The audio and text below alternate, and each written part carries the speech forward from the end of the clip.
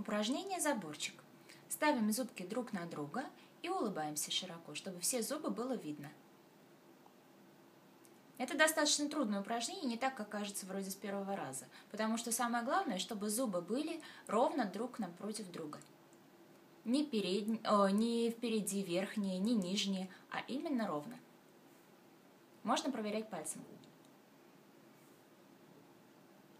Улыбка должна быть широкая, все зубки видно. Это упражнение нужно нам для постановки звука «с».